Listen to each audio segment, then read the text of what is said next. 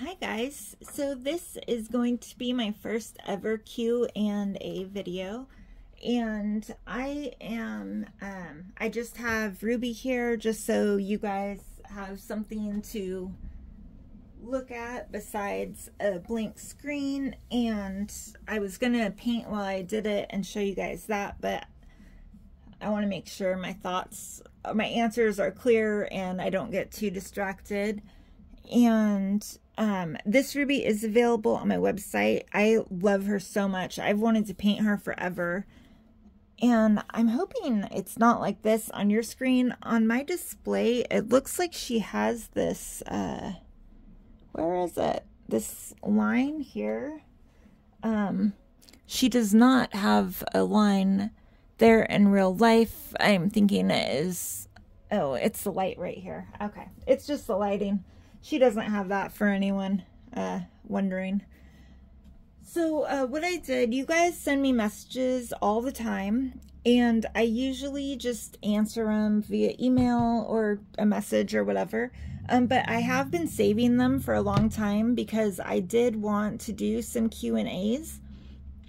Um, so what I did is I just took the first seven uh, in my list that I've been copying and pasting and I'm to go ahead and just answer them. Okay, the first one, which is actually a good one because um, someone else recently asked me this question, um, but it is, do you bake when your kits are still wet or let them dry all the way first? I have problems with texture if I try to bake wet. And I bake when my kits are wet still. I throw them into the oven right away. And I'm going to tell you why I do that um, the first reason is that I am impatient and, um, you know, doing this as a job, I, you know, I paint, I bake. It's like a little assembly line in here. Um, but the bigger, like more important reason is if I am doing varnish or anything that has any white in it at all, um, meaning anything that is a Genesis color that is not O2 or primary. So if I'm using um, phthalo blue O5, that has white in it. O3 has white in it. If I let my paint dry completely before putting in the oven, those areas get chalky. Um, so I bake right away. Um, as far as issues with texture, um, my first question would be, what kind of material do you have in your oven? Um, I do have a video showing how to set up your oven, um, but this is what I use, Gerber Flat Bird's Eye Cloth Diapers. Um, I have been using these for a very long time, and they have pretty much no texture. I know when you like look up or in a lot of groups, other classes, they tell you to use a hand towel or a towel of some sort. Towels have a lot of texture. Um, when I first started, I did use a towel and I had that same issue. Since I started using the cloth diapers over my polyfill, I have not once had a single texture issue. Um, the other issue some people have sometimes is with stuff smearing um, if you put it in wet. And I will say this, and I don't know a better way to word it, so I'm not trying to sound like a jerk, so please do not take it, don't take it that way, just take what I'm saying at face value. If you don't want to smear your work in the oven, do not move it around in the oven. Um, if you know, if I have this leg that is wet and I want to put it in the oven, I hold it by the flange. Say that this is the side of my oven. It has my cloth diaper over it. I put this in the oven. I set it down. I don't touch it. I'm not laying it like this. I'm not scooting it around to try to get it into the right spot. I know where I'm putting it before I put it in and I put it in that spot and I leave it. Um, if you don't smear your work around, your work won't get smeared. Um, so yeah, that is that. I, I do it to be faster. I do it to prevent chalkiness. Um, I do know some people and some instructions say you have to let it dry 100% or your whole oven's going to blow up. It'll blow up your whole house. Um, I have not been flashing my work for as long, almost as long as I have been painting. I have never had an issue with a fire or anything. Um, just the amount of time it takes after you finish painting your piece before you actually set it in the oven, walking to the oven, opening the lid, setting it down. The amount of actual flammable material there that could catch on fire is so tiny. Um, like, I don't know if you guys, that Mythbusters show, I'm sure if they were to do it, they would probably say this is not even possible. But if you do have a fire, don't blame me. but it's it's definitely not likely. Okay, the next question is why do you why do you do all the burnt umber on the ear and nose holes?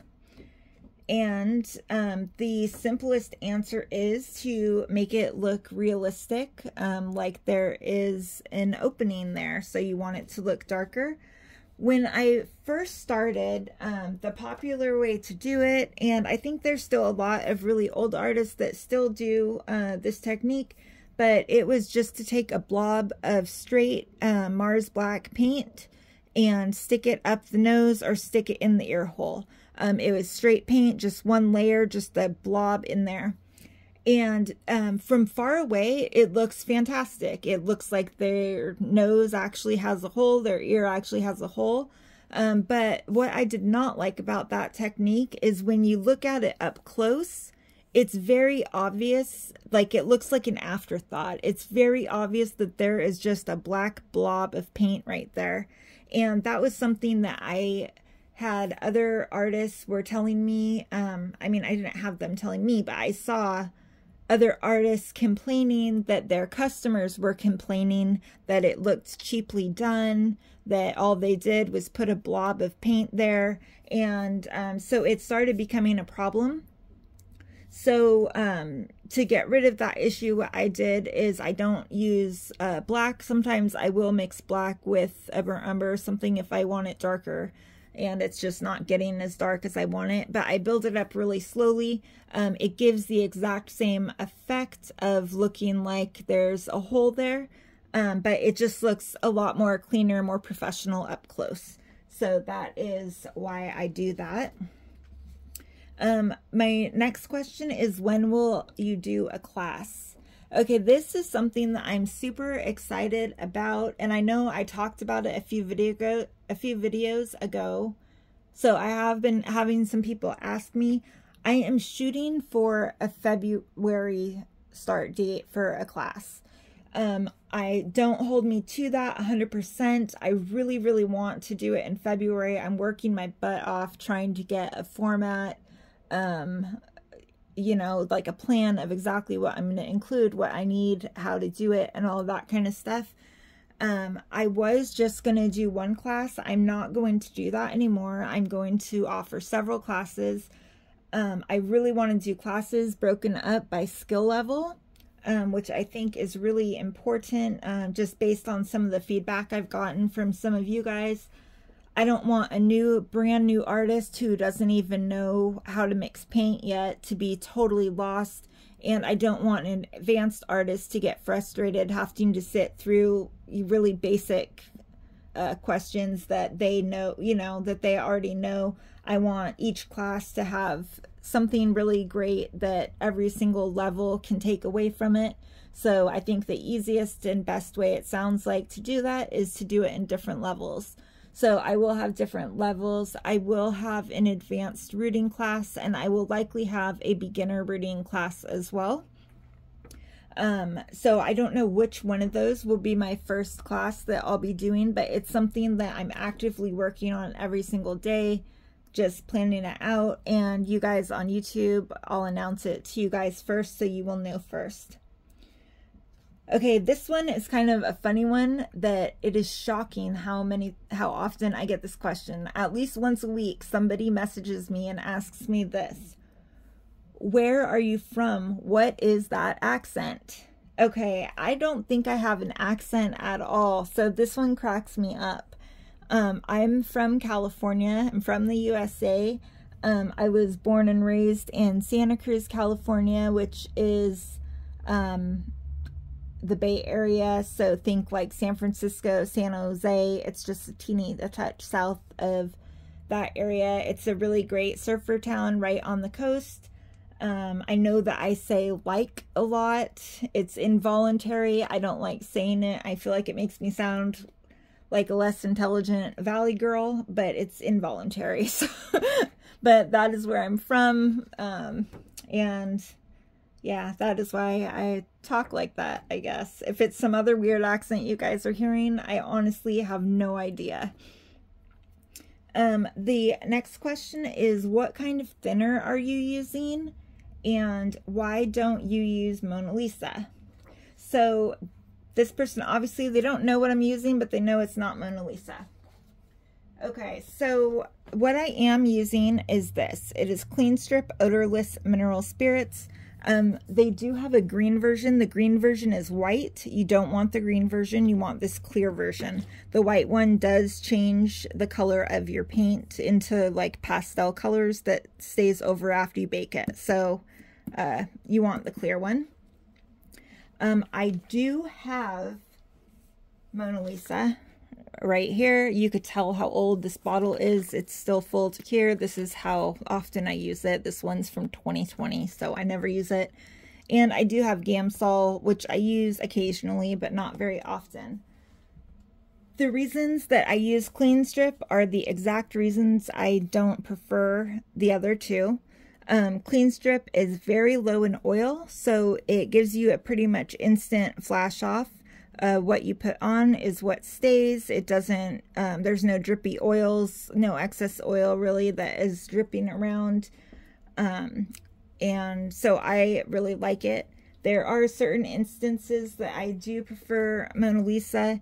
If I'm doing, if I'm trying to do a light, very light creamy complexion where I am using colors that have white, which I never do in my regular babies, I pretty much once in a while, I'll use like a pink or something, but I don't use things that have a lot of white.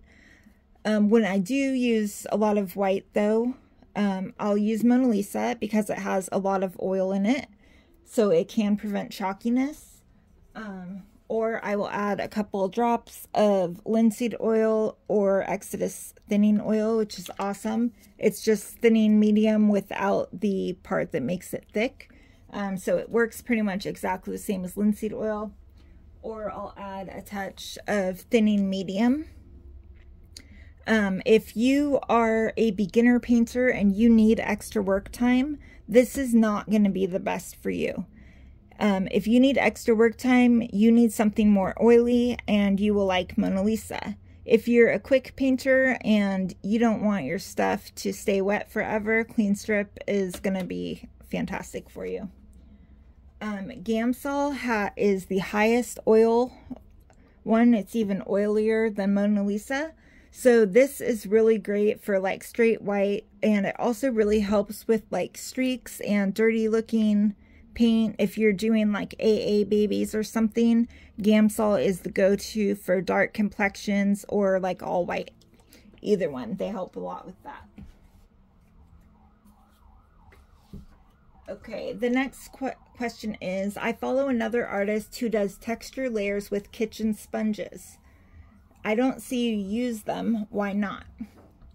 Okay, so you are correct. You don't see me use kitchen sponges because I don't I don't use kitchen sponges. And, you know, I actually I actually used to follow that same artist like everybody when I first started and I used to use kitchen sponges um, I also used to use these tack sponges and sea sponges. Um, kitchen sponges, tack sponges, sea sponges, they work fantastic with air dry. Like they really leave a nice pattern. They work great. They do not work great with the oil in heat set paint. Um, these, the sponges, the kitchen sponges do not absorb the oil. They just sit right on top. So when you put it on, like even if you pounce it, when you put it on, you're getting a drip solid area. It's not leaving a defined pattern there. Um, that is really important to me. I really, really like on my babies.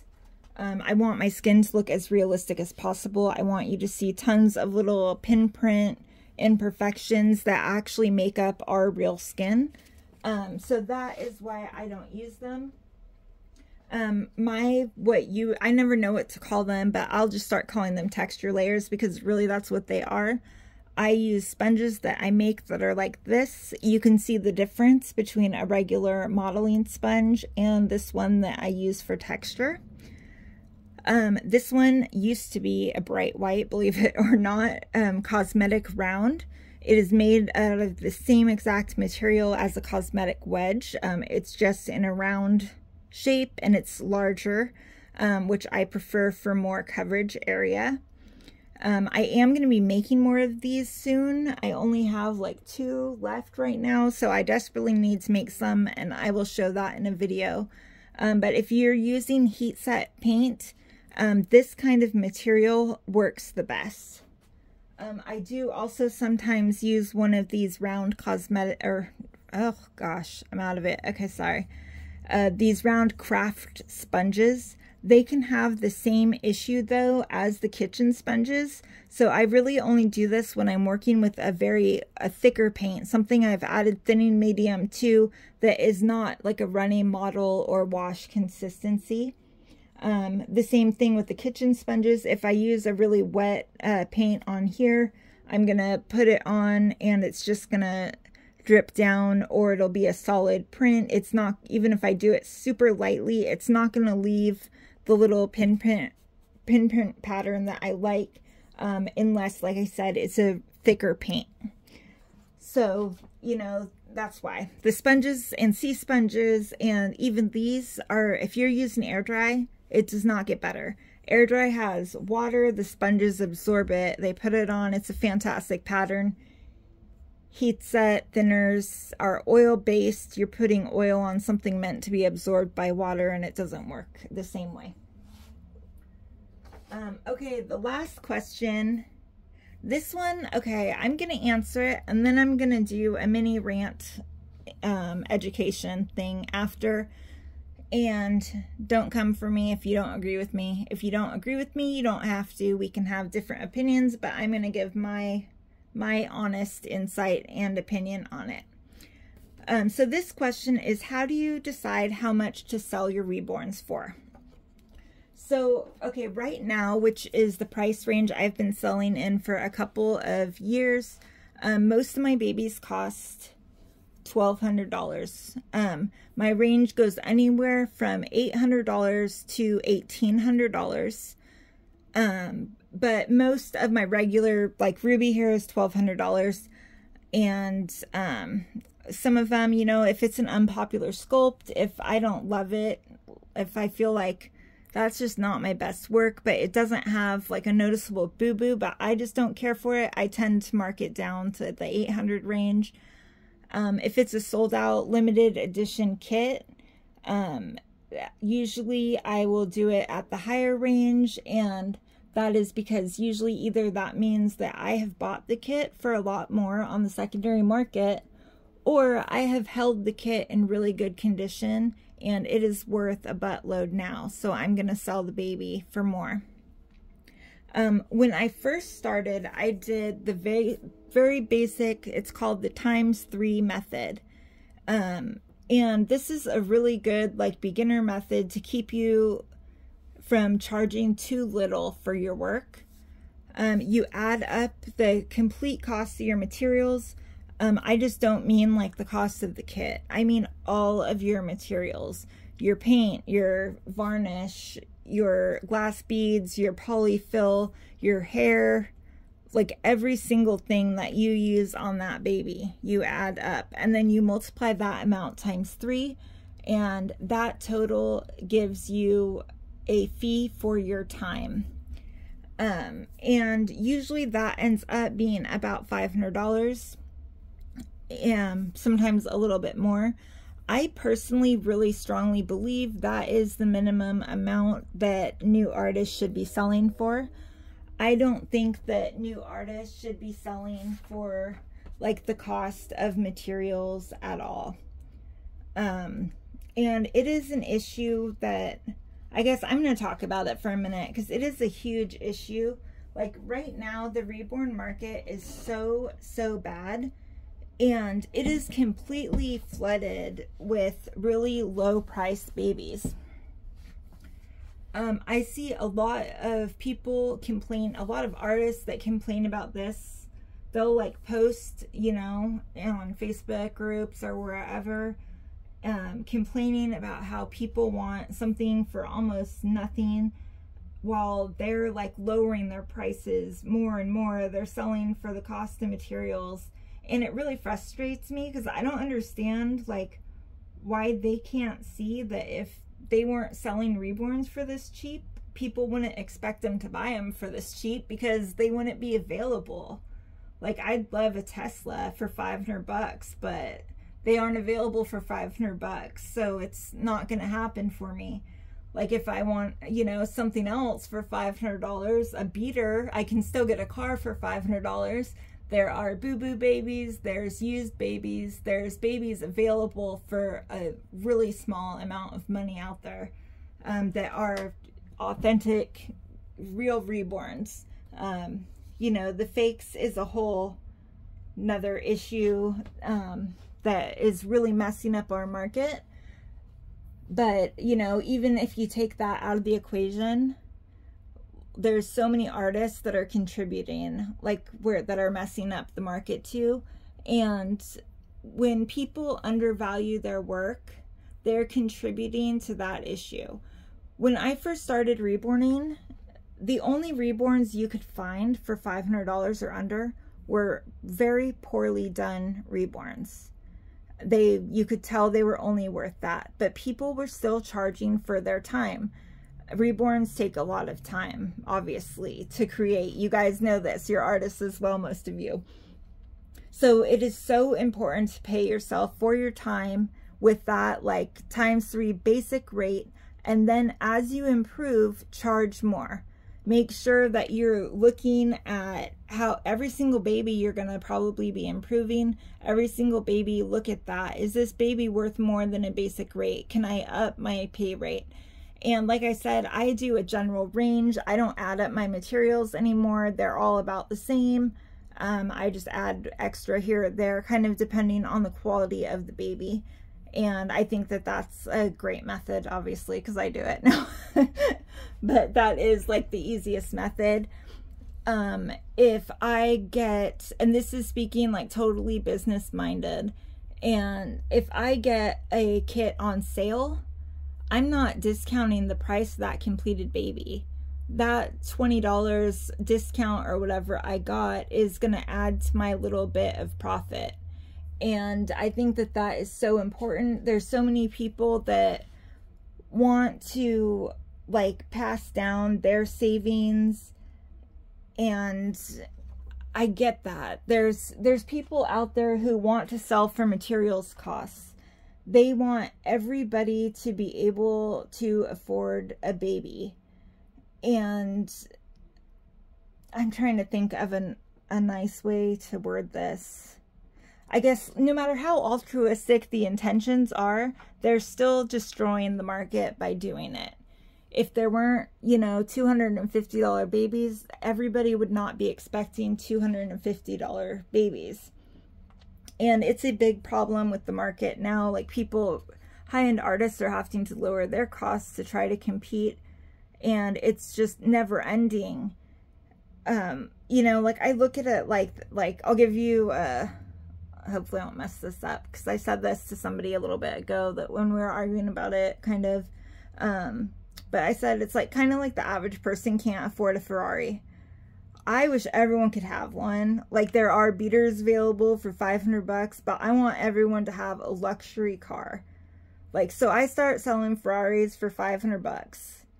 And my friends are like, "Oh, she's making some money selling them for that. I'm going to do that too." So they start selling them for 500 bucks.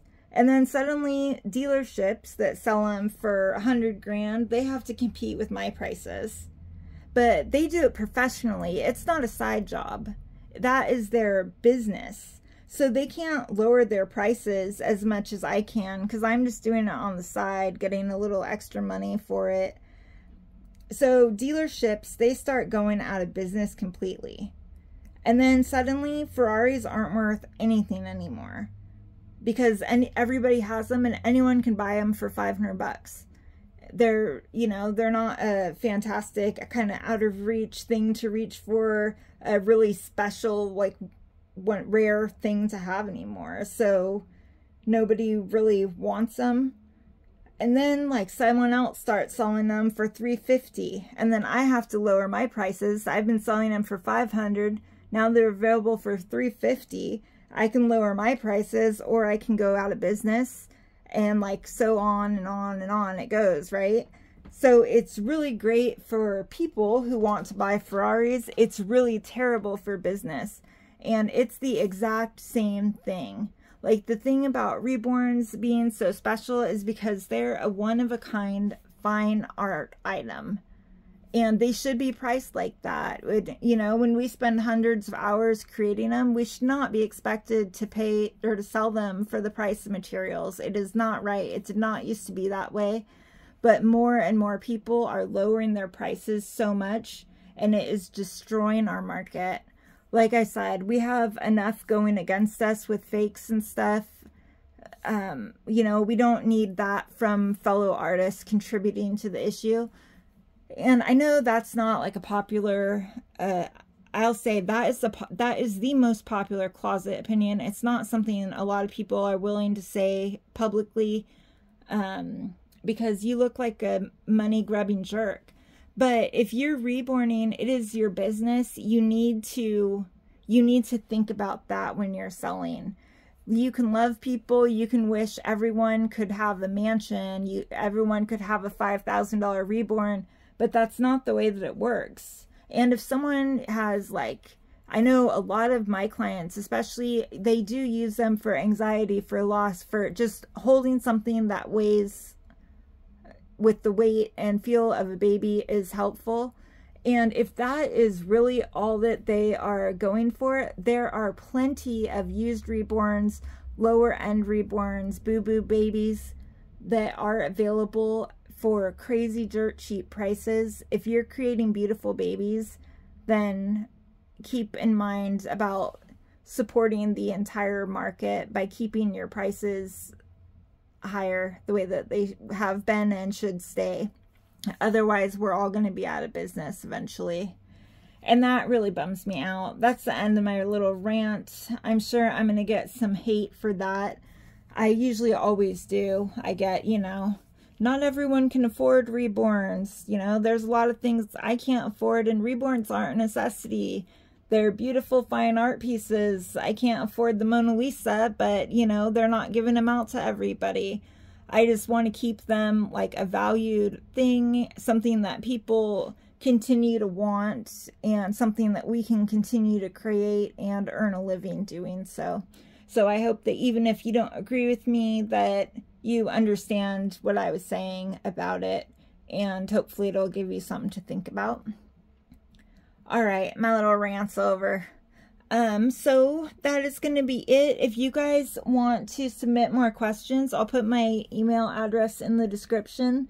I love getting them. I would love to do more Q&As. I think it's a great opportunity to share a little bit of knowledge and for you guys to get to know me a little bit better. Um, so I will see you in the next one.